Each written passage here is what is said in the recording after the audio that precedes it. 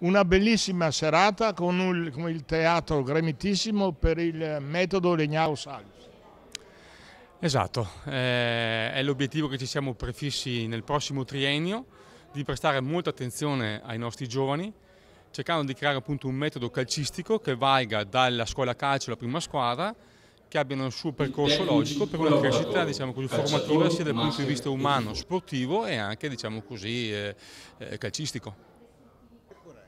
È stata una bellissima serata con partecipazione di pubblico e, un, e un'orecchia in grande forma. Grazie, sì, l'obiettivo di questa serata era quello di presentare questo nuovo progetto che la società ha messo in atto da quest'anno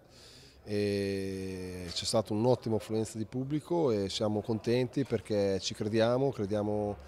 nel, nel lavorare con i giovani, crediamo nel creare le premesse perché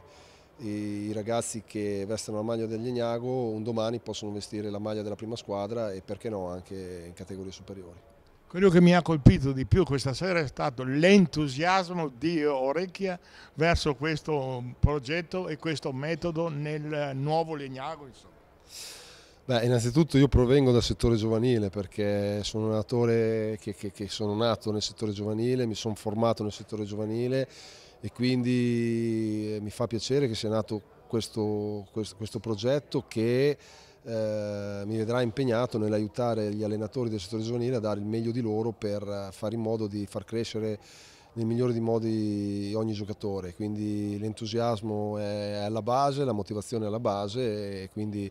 eh, se l'ho trasmesso mi fa molto piacere. Due parole anche su Luca Zanimacchia che è venuto qui a Regnago quasi sconosciuto e poi ha, è, è approdato in Serie A. Eh, il calcio riserva queste gradite sorprese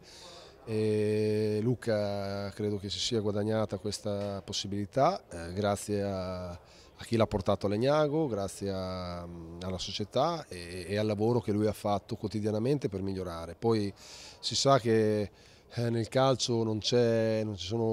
matematica e non ci sono cose